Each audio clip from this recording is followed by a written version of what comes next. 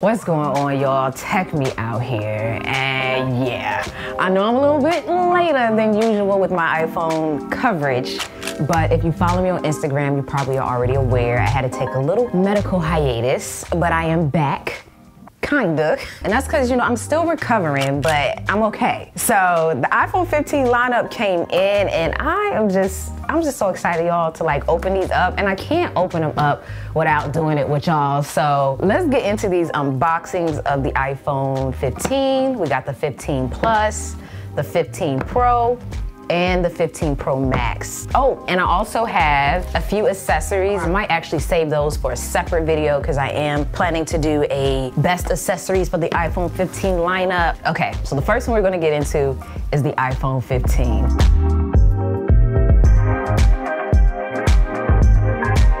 Nothing too different. Oh, I'm all off camera pulling the, the thing off.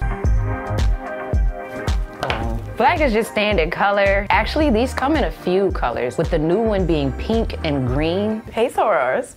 All right, so what I have here in front of me is the iPhone 14 in black, and then the iPhone 15 here in black. So as you can see here, the iPhone 14 has like more of a glossy finish, because this is matte, so you don't have that shiny finish, which I like. I don't know, what would y'all prefer? The finish on the 15 or the finish on the 14? As you can see here on the display, like I said, it's a little hard to tell because it's such a small difference, but it's a difference nonetheless.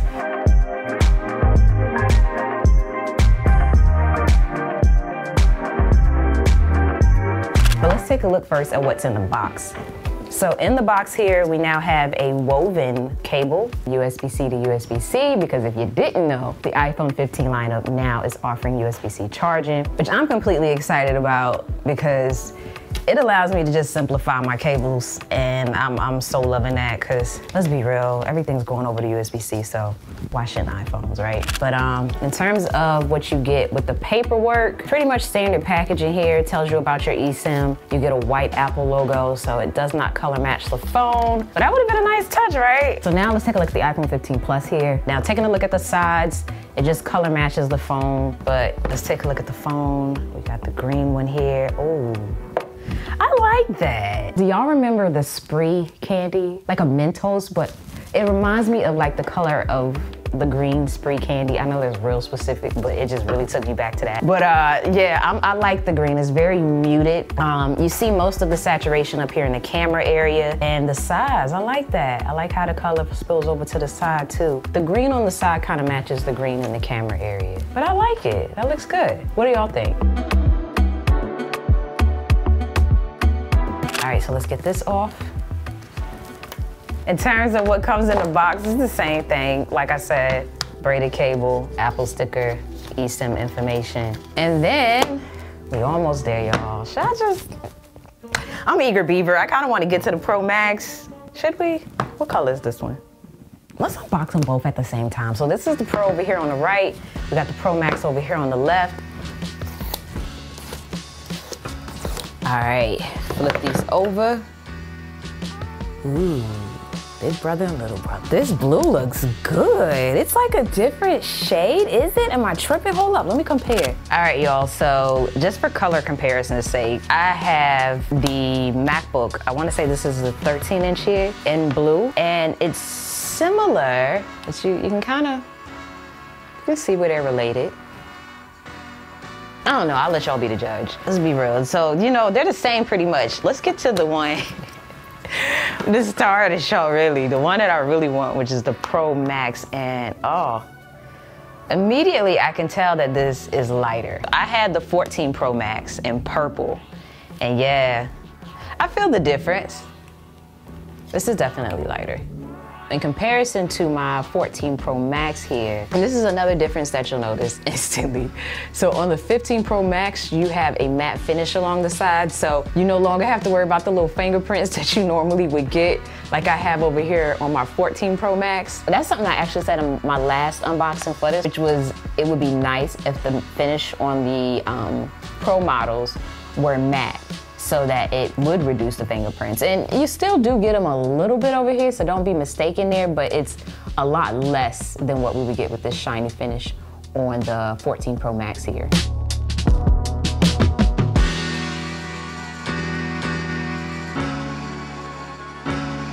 And that's something else I wanna note if you don't know with the USB-C charging here, the charging speeds are still the same, but at least the transfer speeds are a little bit faster. I think 20 times faster on the Pro Max at least. And you can also juice up another phone, or another device that's USB-C, so I could charge an Android phone if I wanted with my iPhone.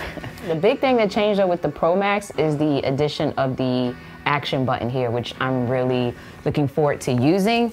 I am curious to see though, if it lets me customize it to be more than one thing because I do like using this as the mute switch, but I would also love the option to use it as something else. So like maybe a single press to mute, double press to launch my camera. Cause that is one thing I love on my Android devices, which is the option to double press the power button and instantly launch the camera. So I'm gonna go ahead and set this up. To me, when it comes to upgrading, it really boils down to like, if the new features are things that you utilize, don't get swayed by the hype or the new factor, you know, if you're not gonna utilize the things that you're upgrading to. So the 15 compared to the 14, like it has a better camera on the 15 for one. Like although you just have two cameras along the back here, one thing you'll notice is that when you actually go into the camera app, you now have three different like focal points or lens options to choose from down here. So you have your normal two that you would ordinarily have, but now you have ultra wide over here which is honestly something like when I would use smaller phones that I would really miss a lot. So the fact that now it has ultra wide, because I like shooting with that mode, especially for like portraits and things like that, it just, it changes the look. And speaking of portraits, portrait mode is a new feature on the 15 as well, where it will auto detect a person or animal and switch to portrait mode, which is something you have to manually enable on the 14. I gotta test this out, but and that actually came out really good. On the entire 15 lineup, you can actually come in here and hit edit and then tap portrait down here at the bottom and adjust the intensity of the portrait mode effect after the fact. And this is something that you cannot do on the iPhone 14. It does have a faster chip inside of here. So this has an A16 Bionic chip. And another difference is that it now has dynamic islands. So if you're not familiar with that, that basically lets you interact with your notifications or your activities that you have running on your phone. Like for me, I like using it for my timer because I can just interact with it from right there at the top of my screen versus always having to go into my settings. It's also great for monitoring like your Uber ride, deliveries, just a lot of different things that have live activities. On top of that, the finish of the phones are different as well as the color options, but the capacity is the same, the display is the same, and you still have the ring silent switch because that action button is only on the Pro lineup. So yeah, if you're thinking about upgrading from the iPhone 14 to the 15, yeah, there's some things there to enjoy, but I will definitely say just overall, you'll probably notice more of a upgrade if you're going from something like the iPhone 13 or especially the iPhone 12. It's gonna be a more noticeable change then. But when you look at the iPhone 14 Pro Max versus the iPhone 15 Pro Max, I'm just pick it up on cameras and say that's another big difference. So you pretty much got like seven lenses in here. So you got your ultra wide right here. And then if you tap one time zoom here, you can choose between your 24 millimeter lens lens, 30, I mean 28 millimeter lens, or your 35 millimeter lens there. Or you can tap two here, and take it up to two times zoom, five here, take it up to five times zoom, or scroll right here and take it up to 25 times zoom, giving you seven lenses total. So one, oh, one, two, three, four, five, six, seven. I'm interested to see how that telephoto lens, which has a 120 millimeter, I wanna say, range, goes against something like the Samsung Galaxy Ultra, which has reigned for a long time with that, you know, uh, super zoom at 100 times. So wonder if it's a little bit better. Apple's had a little bit longer to perfect it. I wanna see which one's gonna, you know, have the better camera in that department as well as overall. If you have any of the iPhone 14s, upgrading to the iPhone 15 is definitely optional for you. You might notice a little change here and there, but unless you really care about the camera like that, or you're sick of charging things via lightning, you know, to me, those where the biggest changes are in the mute switch now being an action button. But I'm gonna be testing these cameras out. I know I ran a little long on this one, a little longer than I would have liked to, but the one I do wanna pop open is this woven case because it's a new material. Gorilla Grip. Oh man, uh, how do you, come on now. I know there has to be an easier way. Why am I struggling? Oh, I don't rip this whole thing apart. Boom. To took two people, y'all. All right. Ooh, this is pretty though. If you didn't know, like little fact, purple used to be my favorite color growing up. Like I loved purple. Oh man, and this is a cute shade. I really, I really like that. And it feels nice. It's a very smooth, almost silk-like finish. I don't know what I would compare this to. It's like a velvet finish. Yeah, I'd say that. That's probably the closest we're gonna get. All right, so boom, 15 plus goes in here. That purple on green looks kind of good. But all right, y'all. Um, that's gonna be it for this one. I'm gonna do some more coverage. Firstly, the 15 Pro Max, because um, that's the one my eyes have really been set on there.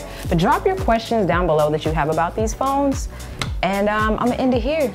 As always, thanks for taking the time out to let me tech you out.